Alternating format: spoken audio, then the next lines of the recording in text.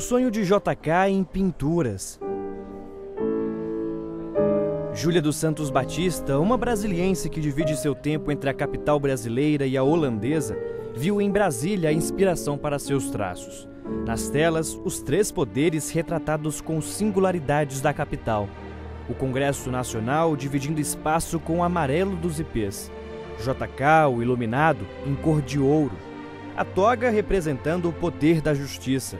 E foi pelas obras de Júlia que ela apresentou Brasília aos filhos, que nasceram na Holanda. Quando eles vêm aqui em Brasília, eles reconhecem os, os originais, os monumentos, as igrejas, os, os, prédios, e eles sempre falam: Mamãe, esse aqui é o JK, não é aquele de ouro que você pintou?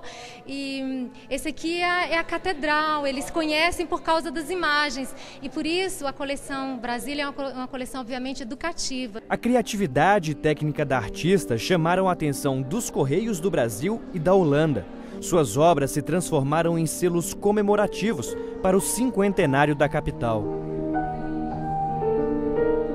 O selo ele tem uma característica histórica, né? Você pode contar a história de um país através dos selos emitidos, porque todas as vezes que acontece um evento de relevância nacional é emitido um selo.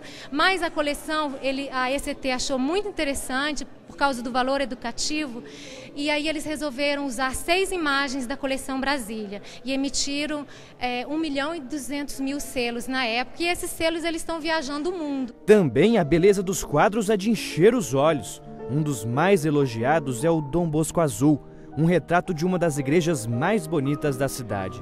Os olhares atentos também se voltam para a Catedral Junina em Festa e tantas outras obras.